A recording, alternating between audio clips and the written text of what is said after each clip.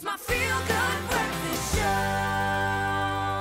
Oh, Mzansi, welcome back to Feel Good Breakfast Show. Let me tell you, this conversation is going to entertain and educate. Now, there's nothing like an explosion of blockchain news to leave you thinking, what's going on here? What's happening? Now, the term NFT seems to be everywhere these days. It is the hype word, and from art and music to hotcakes, these digital assets are selling like, well, hotcakes, I guess. So some of you may be still wondering what exactly they are, and are NFTs even worth the money or the hype? Well, let's find out. So we got some experts in the building, and uh, they are bubbled, poised to pop and give us this information. So others believe NFTs are here to stay and that they will change investing forever. But today we're going to break down everything about NFTs with our panel, consisting of our resident tech guru Grant Hines in the building, as well as business development lead at Polygon Enterprise, MJ. Michael Jordan in the house. Okay, so it's an incredible conversation, and we are here to just talk about this more. We might have another artiste to weigh in on this conversation, but for now, we're encouraging you to join in on this discussion and share your thoughts and experiences with us. Come through on that voice note, and uh, you can share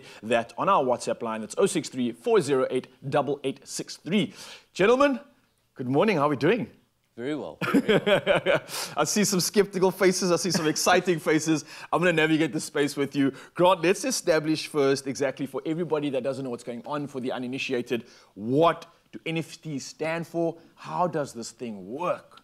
Well, NFTs are stands for non non fungible token. Yeah. So uh, you can uh, basically you, you you can mint something on a blockchain uh, that lets you have ownership over a particular. It's a token that lets everybody on that blockchain know that you have ownership over uh, uh, a piece of digital material. Generally, piece of digital mater- material. So it's as e- it's as simple as that. It's a receipt. Okay. In, in many ways. All right. But it's a receipt in, in a space that everybody understands and can be traced. Um, and it's also uh, because you have ownership on it, there is the potential for you to sell that, that digital item on, or for you to find other people and, uh, who have bought digital items that you desire. Um, and then buy those tokens from them. All right, and obviously traceability means transparency, so all the information is obviously locked within that. Michael, maybe I can ask you this then, with regards to what Grant is leading on from using that blockchain technology, then what is blockchain technology exactly, and how is that then essentially be using or incorporating NFTs to kind of make it work? If that's a good question, you know? so, yeah, blockchain essentially is a single source of truth. And this becomes very, very powerful with people transacting over the internet who don't know each other. So to have a database that everybody can agree on that this is, like I say, the truth and it's been determined by computer algorithms, it allows for a lot of economic transactions to go forward. Now, Bitcoin was the first generation where we came out with these fungible tokens. Fungible meaning you don't care if you get this one or you get that one. A good example is gold. You just care about the weight of the gold. You don't care if you get that gold coin or that other gold coin. Non-fungible is when there's multiple parameters that determine the value of something. And I guess if gold is like fungible, diamonds are non-fungible. You've got the cut, the color, the clarity, the ah, carat. course, You know, the ladies All know right. more on what, what makes these diamonds more valuable. And so NFTs can represent a whole host of different assets. Whereas your fungibles would more like you know your cryptocurrencies, uh, a form of money, form of token. Whereas non-fungible can represent art pieces, title deeds, and a whole array of various assets. So is that the thing that's essentially making the, let's say for lack of a better term, the diamond more valuable? Would that mean that the art piece or that thing that's attached to it, the value comes from how valuable it actually is?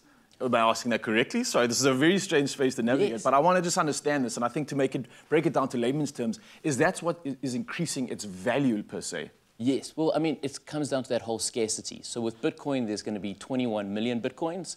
With a non-fungible token, there's only one. Ah, okay. Yeah, the uniqueness of a product is, is important in the NFT space. So uh, you can get lots of different kinds of Bitcoin, right? Yes. And, and Bitcoin is it can be farmed. Yes. uh, Like You can e- mine it and it can be like- Es- essentially, yeah. But you have one painting. You know, there's only one. Um, the Demoiselles. You know, there's only there's only one. Uh, you know, specific piece by Basquiat, and that's what uh, that, that's that's what people are buying, and that's what makes it valuable. If um, think Andy Warhol kind of turned it on its head though when he made lo- lots of many, but like yeah, uh, and obviously things have changed now with um, with NFT paintings where you know you can procedurally generate a painting and then um, each of those ones are unique. They're, uh, you know, procedurally generated to be uh, different from all the others. And then you buy that particular ape, and then that particular ape has got value because it's, uh, it's got attributes that make it, uh, you know, And, and, and essentially, blockchain Terrible. ensures that we all agree that that, let's say, art piece or that token itself is then essentially, we're all agreeing then that that is the one, that is the, the, the scarce one that we're agreeing to based on blockchain, and that becomes that NFT that then has value or not, right? Mm-hmm. No? Yes? Well, I, w- I would say it's more than that. Like, so there are certain reasons art pieces are popular. Not every painting that exists is valuable. Um, you know, if I sit down and paint a painting, no one's going to buy it for a, a million rand. unfortunately, maybe. unfortunately. so I, I do see the, the, uh, where Michael is, what Michael is saying is that it's it's a it's a it's a universal a, a platform that we agree on. Um, that is that is non-centered. That you know people can go, okay, cool. We understand that the value of X of this painting is X because we can see where it's happened. We've seen it a a little bit in the property market already. A lot of these things aren't like brand new concepts. Like they already exist in our economy. This is just a way of making a, a proper ledger, a digital ledger of where this activity is happening, and that we can all again agree. We all agree right now, currently, that the rand is X to a dollar. Yes. You know, everywhere you go, that's what it is, Yes. and it's that's it's a sort of it's a similar thing, but it's decentralized. All banks have centralized uh-huh. their finances, and all this stuff is decentralized for everybody around. Okay, it's starting to make sense. Mzansi, I hope you're with us here and pay attention because this conversation is going to heat up even more because we're going to see what we can do with NFTs a little bit later. But before we get into that, let's chat to you, let's chat to the rest of the team, catch up and see what else is happening on the Tech Show. It's my feel good. Yes, Mzansi, welcome back. Your Feel Good Breakfast Show. The conversation is carrying on. We are talking about NFTs, trying to help you understand it, trying to see where the world is going with it, and what you can actually do with it, maybe even capitalize. Now, NFTs are gaining notoriety now because they are becoming an increasingly popular way to buy and sell digital artwork too. Now, global markets for NFTs was worth a staggering, listen to this, 700 billion rand last year alone. Now, that's an amount that is approaching the total value of the entire global fine art market. That's how impactful this really is. Is it hype or is there more to it? We're going to find out more. We're going to resume our conversation on the popularity of NFTs. We've got our panel consisting of, of course, Grant Hines, our tech guru and business development lead at Polygon Enterprise, Michael Jordan. And we've also added another member to the panel, award-winning musician and fine artist, Arno Carstens, in the building. Ladies and gentlemen, let's welcome the man and let's carry on with this conversation because I have so much to talk about. How are you doing this morning, firstly? Fantastic, and you, you guys, all right. Yeah, We've just started to unpack exactly what NFTs were, how blockchain is associated to it, and we are about to dive into what's actually going on and how NFTs are being used. Perfect timing for you to join this conversation because you, being an artist, being a musician, you obviously have just gotten involved in NFTs. How exactly are you doing that and why?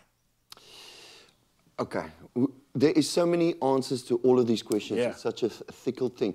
For me, um, it is a natural progression from where it's going. Uh, for me as a fine artist, of course, I'm going to take my paintings, I'm going to rework it digitally um, because it's awesome to be doing that. And then, um, uh, and, and it's got a marketplace. You know what I mean? I could take it. NFTs has got somewhere to go. Um, just, I find it. What happened in the music industry, I don't want it to happen to me in the art industry. So I want to be on top of it right from the beginning. And what do you mean when you say what happened to, you? Look, the music industry, we used to make a lot of money out of it. Yeah. Now you basically, it, just- it's like stamp collecting. It's You can just download it anywhere. You basically killed it, the music yeah? industry. It's only a few people making money or whatever. I see in NFTs a way where it can go, where, where it can enhance the world of the fine artists. You know, in the old days, you used to sell a painting and it used to eventually it gets sold for millions, but the artist won't make that money. With NFTs, you're always going to make a little bit, or these things, and uh, you're going to make something in perpetuity going into the future.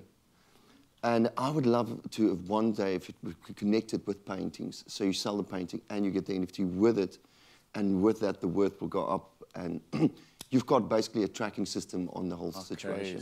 so for me, I see a lot of things happening in the future as the technology evolves and stuff. We're maybe not there yet, but hopefully it will work that way.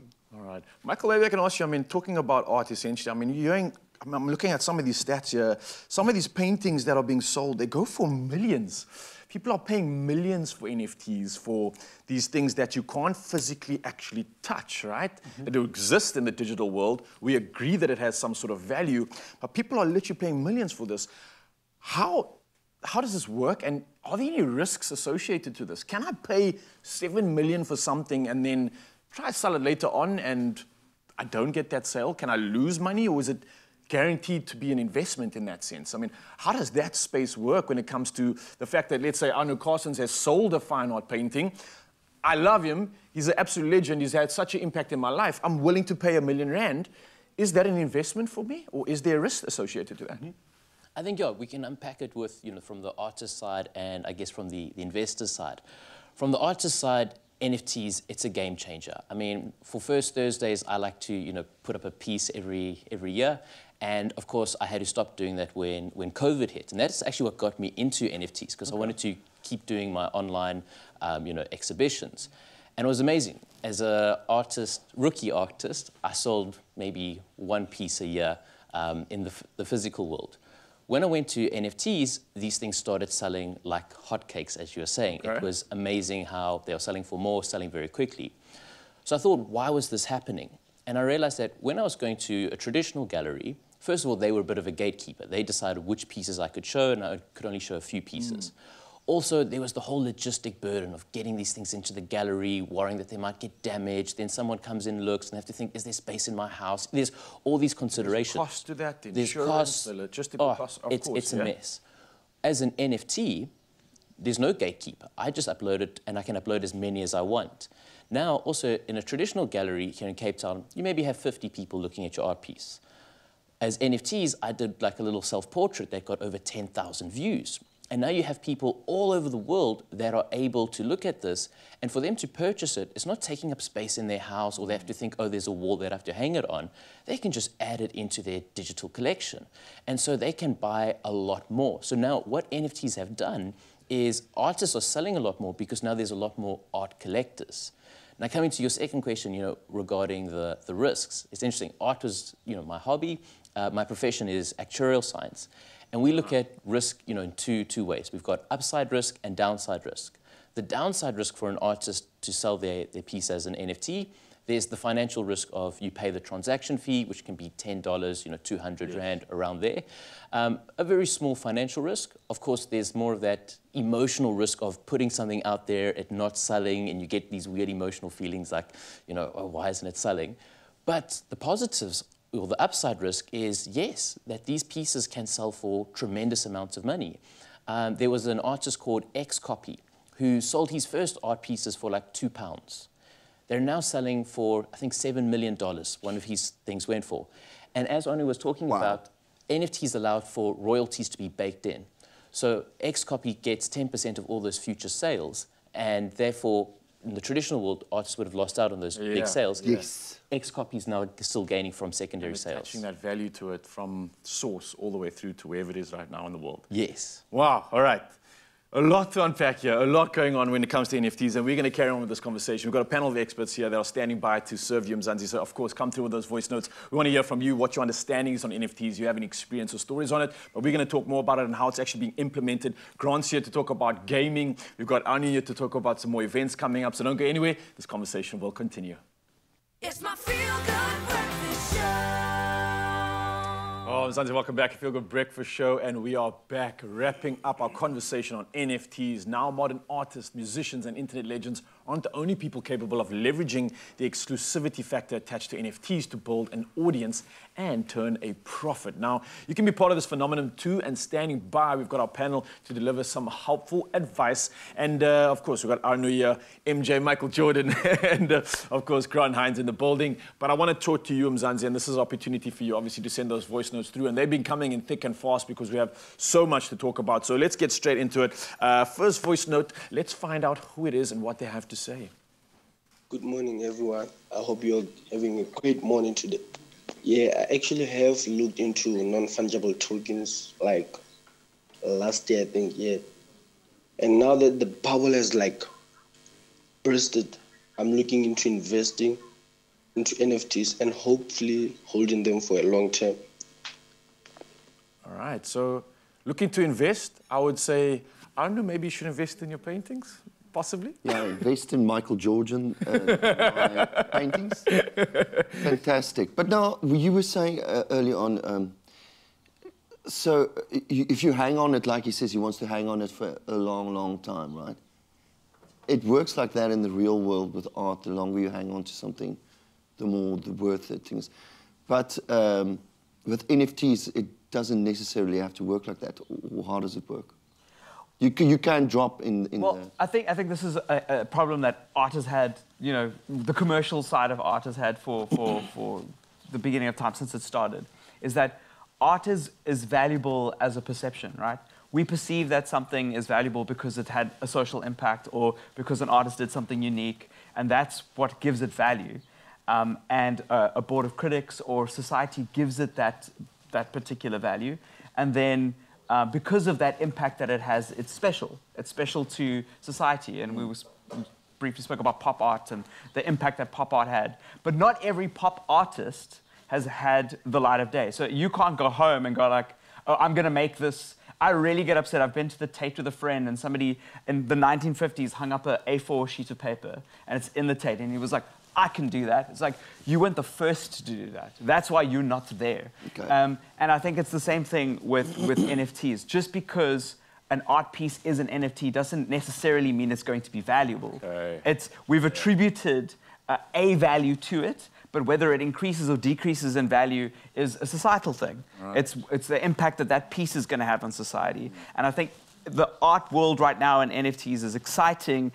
Uh, I think the, the most exciting stuff is actually gone, and it's mostly around how artists have exploited technology to put themselves uh, in galleries and spaces. I think that there's going to be a huge um, uh, NFT uh, display at the MoMA, and we're going to see Xcopy and the and the, the apes over there, and we're going to see like the people that did that did unique things for the first time. Those are what we're going to study in history of art books. Um, but that doesn't mean that other artists don't have value, right? Yeah. Th- th- those are the ones that are going to be billion, billionaires, um, and when they die, trillionaires, the collectors of those pieces. But it, the other art that we that we have physically still has value. It might not be to that level. So, uh, yeah, it But depends where that marketplace is. art piece was collected and kept over time, and him as the brand started doing something crazy, got hype, and added value to whatever else he was doing, that essentially could then add value to the art at the same time, right? Yeah. Depending on the hype. Look, look, like Van Gogh, like he he he didn't make a lot of money in his life. He barely sold a painting. Yeah. Um, but when he passed, because of his impact and the kind of artworks that he did, his paintings are priceless now. Um, and it's uh, you know so. Like that could happen to people making NFTs. You might be making them at home and making like a dollar or a pound, but the impact that you're making will only be realized after you've passed. We don't know that. All right. that. Listen, Mzansi, this conversation could go on forever, and I think it definitely can, and it can continue even beyond the show. So I think for a lot of us, it's been an incredible opportunity to get more educated on NFTs and what it's all about. For now, though, if you are wanting to find out more with regards to artists and art, you can maybe get in touch with Arno and find out more about what he's doing in the space. You can also maybe chat to Michael as well and chat to him about anything with regards to the space of NFTs, how to invest and what to look out for. And of course, Grant Hines is here when it comes to gaming and NFTs and maybe just how to have fun with it, right? So these experts will definitely be uh, willing to carry on with this conversation a little bit later. For now, though, obviously, it's time to meet an artiste that is actually deep in the game already. Let's check this out.